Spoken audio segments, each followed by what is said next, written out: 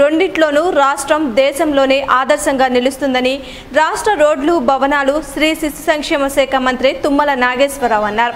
వైరా నియోజకవర్గంలో మంత్రి విస్తృతంగా పర్యటించి పలు అభివృద్ధి సంక్షేమ కార్యక్రమాలకు శంకుస్థాపన చేశారు.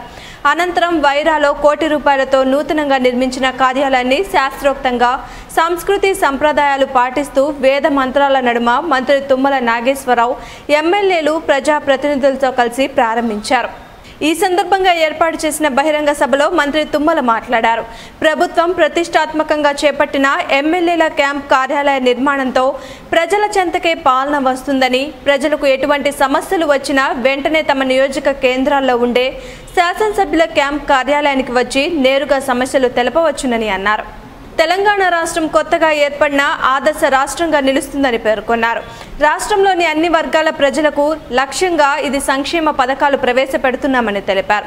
రాష్ట్రంలో ఇంత అభివృద్ధి జరుగుతుంటే చూసి ఓర్వలేక పలు పార్టీలు పనికిమాలిన విమర్శలు చేస్తున్నాయని విమర్శించారు. ఈ కార్యక్రమంలో Jalagam Venkatrao SC corporation chairman Peedamarthi Ravi bank chairman Muvva Vijayababu రైతు సంఘ జిల్లా కన్వీనర్ నల్లమల్ల వెంకటేశ్వర్లు ఆర్డీఓ పూర్ణచందర్ పలు శాఖల అధికారులు పాల్గొన్నారు. మన జిల్లాలో ఆల్మోస్ట్ అలా అన్నీ పూర్తయినాయి. మధుర కొద్ది రోజుల్లో పూర్తి ఉంది. పది నియోజకవర్గాల్లో కూడా పది మంది శాసనసభ్యులకి ఈ రకమైనటువంటి వసతి సౌకర్యం అదేవిధంగా కార్యాలయ సౌకర్యం కూడా కల్పించాం.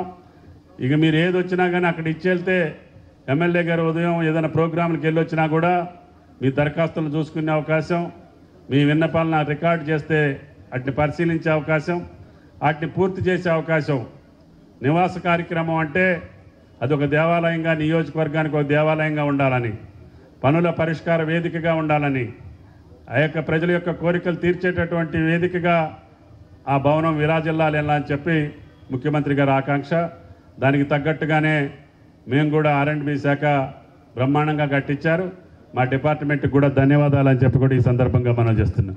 అదేవిధంగా ఈ నియోజకవర్గం అన్నిటికంటే వెనకబడింది వెనకబడింది అని అంటాడు ఈయన.